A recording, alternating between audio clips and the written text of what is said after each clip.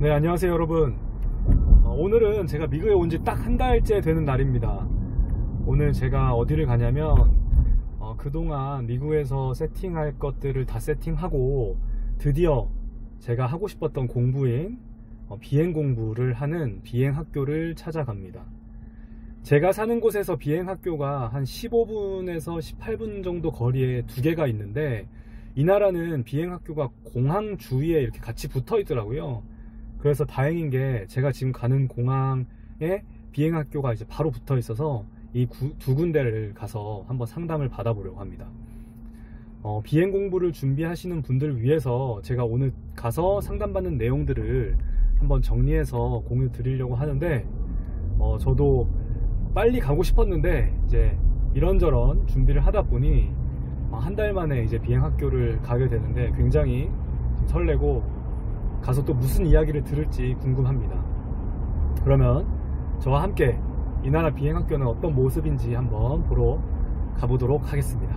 제가 지금 비행장에 도착을 했습니다. 내리자마자 비행기들이 이렇게 주차가 돼 있는데 제가 미국 와가지고 어딜 오면서 한 번도 설렌 적이 없는데 여기 딱 도착하니까 엄청 설레네요. 제가 지금 들어가려고 하는 곳은 여기 이제 Washington International Flight Academy라고 해서 WIFA라는 곳인데 한번 들어가 보도록 하겠습니다. 아, 되게 아직까지 뭐 비행하는 사람은 보이진 않고 날씨가 지금 비가 와서 그런지 어, 굉장히 조용하고 한적한 모습입니다. 어, 빨리 저 비행기를 한번 타보고 싶은데요. 네, 한번 들어가 보도록 하겠습니다. 제가 이제 파이퍼고 얘는 얘가 선 세스나 152. 아, 요거요? 좀 약간 오래된 것처럼 이게 보이는 거요? 작은 작잖아요. 저 아. 보다 좀 작거든요. 저건 네. two seaters. 아, 좌석이 두 개짜리. 네. 세스나 172는 um, 좌석이 네 개죠. 다 다른 비행기는 다 좌석이 네 개. 아, 여기 쭉 다 있는 게. 네. 음. 세스나 뭐 172처럼 이렇게 모델명 돼 있는 걸 보면 바로바로 아시는 아니 저 모델은 이렇게 네. 해서는 못 보고 그러니까 모델이 Cessna 172도 다 이렇게 생겼지만은 네. 얘는 Cessna 172R, 아. Q, 네네. P, N 이렇거든요. 저는 네. 안 이렇게 가르치니까 그래서 아는 건데 네네. 딱 봐서는 모르죠. 아. 아, 이게 왼쪽에 있는 게 Piper. 이제 이제 Piper는 또 회사 이름이고 네. 그 이제 얘네는 체로키라고 불러요. 그러니까 음. Warrior, Archer, Arrow 얘네들 다 체로키라고 부르거든요. 음. 그래서 얘네들 이제 Archer나 Warrior인 애들인 거죠. 다른 진짜 확실히 좀 다르. 이게 더 전 예쁜 것 같은데요. 어, 똑같아요. 근데 결국에는 똑같은 네. 카테고리고 똑같은 그런 얘기 그러니까 뭐 그런 거죠. 뭐 소나타랑 네, 뭐 소나타랑 기아 K5 뭐 이런 거랑. 그렇죠. 예. 네, 그 똑같은 그런 느낌으로 네. 그냥 회사가 좀 다를 뿐이고 네. 아, 이걸 제가 맨날 영상으로만 보다가 실제로 음. 보니까 너무 감격스러운 비행기를 네, 비행기를. 음, 저 공군했었을 때도 이거 못 봤거든요. 아, 공군했었을 때? 항상 수송기만 어. 보고. 어, 이렇게. 아, 타보셔도 돼요. 이렇게 생겼구나. 엄청 좁네요. 생각보다.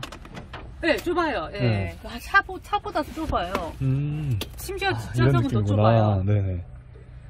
이런 그래서 이제 느낌이구나. instrument가 이렇게 돼 있고 얘가 네. 이제 airspeed indicator고 네. 얘가 이제 에이스- 아, AI라고 해서 attitude indicator. 네. 이제 이거 얘네 두 개는 이제 원래 다른 원래 비행기들은 steam gauges 비행기들은 suction이라고 그 vacuum으로 하는데 얘네는 이제 electronic으로 이제 하는 거죠. 음. 그래서 만약 베큐음을 잃는 잃어도 이제 얘네들은 상관이 없는 거예요. 음. 네, 계속 쓸 수 있는.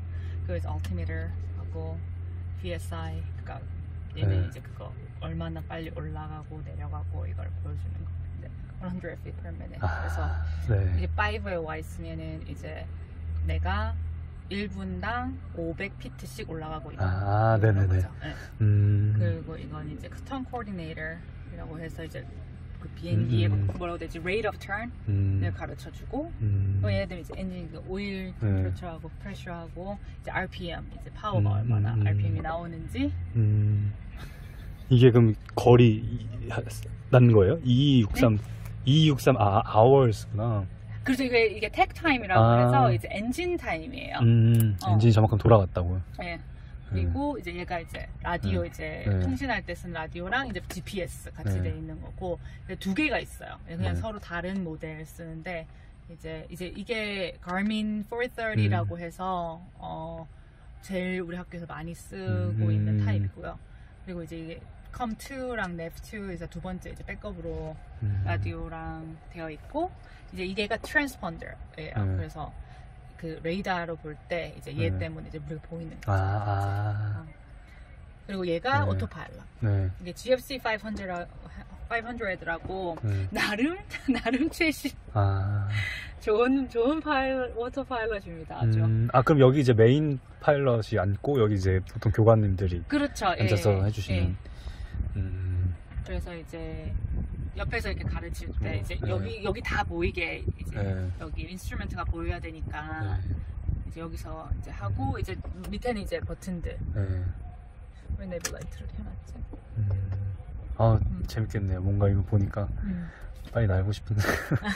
아, 솔직히 전 학생들이 음. 많이 와서 들 실망을 해요 비행기를 왜요? 보면 저는 너무? 오래되고 그러니까 아. 이 비행기들이 다 주영 씨보다 나이가 많아요. 아 그리고 네. 근데 저는 너무 좋은데요? 냄새 이 냄새도 전 좋은데요? 냄새도 나요? 그러니까 이 가죽 냄새 이런. 아 어. 음. 음. 비행기 이렇게 시작하거나 이렇게 하면 퓨어 네. 냄새가 확 음, 오거든요. 음. 상쾌한 아침에 탁 비행 냄새가 들어오면 아, 자 오늘 하루도 시작이구나 네. 그런 생각을 하죠. 빨리 저도 그런 삶을 살고 싶습니다. 아. 짠! 네, 갑자기 제가 나와서 놀라셨죠? 어, 오늘 영상은 여기까지입니다. 제가 가서 오늘 한 2시간 정도 상담을 받았는데 상담받은 내용은 추후에 제가 다시 한번 정리해서 올려드릴 예정입니다. 어, 앞으로 제가 파일럿이 되기 위해서 모든 스텝들을 하나하나 촬영하면서 올려볼까 합니다. 어, 제가 그 스텝들을 하나하나 밟아 갈 때마다 여러분들께서 많은 또 응원과 관심을 가져주시면 감사하겠습니다. 네, 만잘부, 만잘부, 만잘부라고